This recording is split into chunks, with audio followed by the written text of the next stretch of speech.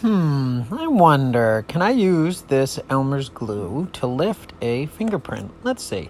Got a fingerprint here. That looks pretty good. And I have some Elmer's glue. Just some regular school glue here. I'm going to put a big chunk of glue on here. Make sure it's all covered up. Whoop, whoop, whoop, whoop.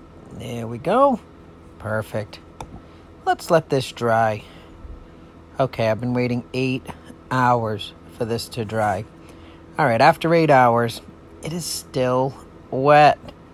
So I guess it won't work. Maybe if I used a regular one and not the school glue, but this did not work. That's why I use Silmark.